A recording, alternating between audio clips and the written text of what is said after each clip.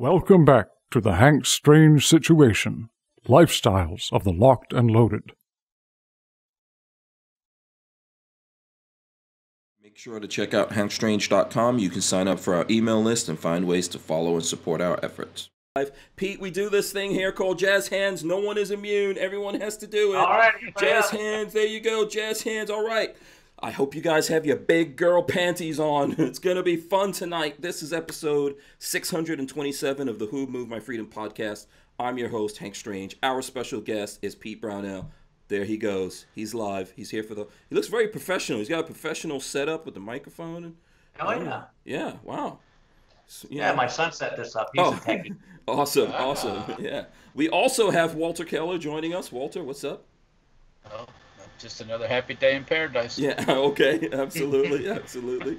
Walter making the guns. And, you know, uh, the first thing I want to do here, first thing I want to do, we got to do this official.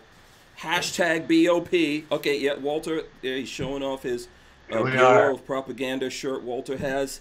I'm flying the flag. There it goes. There you are. For all the Join BOP movement. people out there, absolutely. if I don't do this, Pete, I'm going to be in big trouble with the rest of the BOP dudes.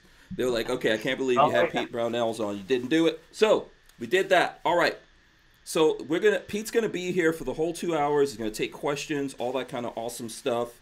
Um, I know I've gotten a lot of things, Pete, from the folks out there, and you. There's probably like one question everyone wants to get into here, Sure. right, on the subject of the NRA. So, um, you know, I don't know if there's really a lot there that's been going on for a while. So I don't know if you've got something that you want to say to cover that, and then we can move on and go on to other Well, things here. it- yeah. Um, I've been, uh, I retired from the NRA about two years ago when I stepped down from the uh, presidency. So I've been out of the loop for quite some time. So I'm getting the news feeds uh, like you guys are getting the news feeds. So Mhm. it's, I don't want to say there's, uh, there's nothing new or any inside that I, that I know that's not already out there. We're all, uh, Mhm. that whole document set out there. So Yeah. um, the NRA's got some stuff to work through. Uh, still a still a group There's still a, a big group out there that's uh, supporting the NRA uh, as being members and letting their voice be heard. I encourage that. Let your voice, your Second Amendment voice, be heard, like you're doing right here today. Mhm. There's also some other great organizations out there right now that are really moving the needle. So join them all. Uh, you got NSSF. You were flying the, the, the patches there. NAGA, great, great movement. There's maybe we can get in some numbers of new gun owners a little later on in the show if you haven't Mhm. touched it already with your listeners. Mhm. Um, Second Amendment Foundation, Alan Gottlieb doing some great stuff out there. Mhm. Um, there's a whole bunch of them. Second Yeah. Amendment, there's just a lot of them. Join them Yeah. all. We need that voice. There's. GOA. There's a bunch of folks out there. There's Right. um, there's individuals doing a lot of stuff, which we will get into this. You know, you've got uh, Maj Toure over at uh, Black Guns Matter. you know, Mhm. you've got Kevin Dixie. You've got lots of people out there, and and I think it's what's important right now, especially right now, is everyone um, needs to get into that mindset that we all have to fight for the Second Amendment. And regardless of what's going on, Brownells is still committed to that, right or wrong. That's right on, man. Yep. Okay. All right. That's very important for anyone that wants to know. We can maybe get into some things. What's up, Walt?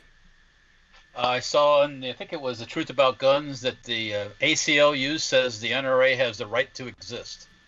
Now, for the ACLU Yeah. to be course, doing yeah. something for Brownells, I mean, excuse me, for for NRA. Sorry, sorry about that, Pete. Yeah. Um, that that that that tells you something there. You know that there could Yeah. be a little bit of monkey business going on.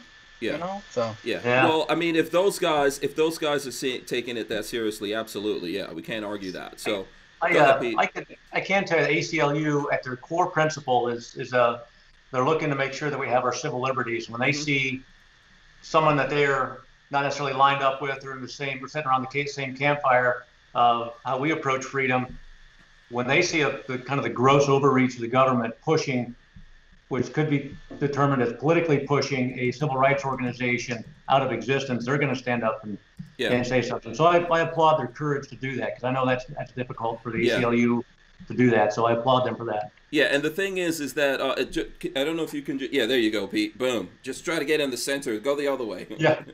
yeah, there you go. You're good. Yeah. Um, you know what the thing is? I think that what we all need to realize about that.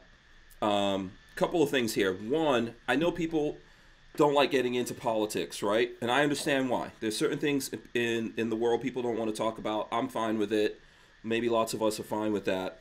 But to me, the Second Amendment's not political. It's, it's the Constitution.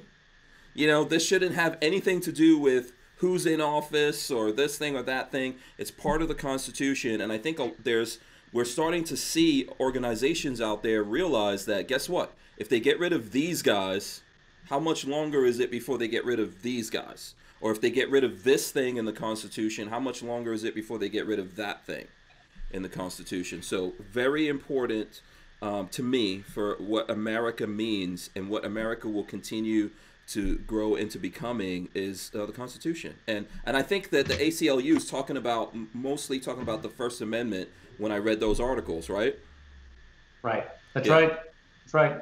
Yeah. So make sure to check out hankstrange.com. You can sign up for our email list and find ways to follow and support our efforts.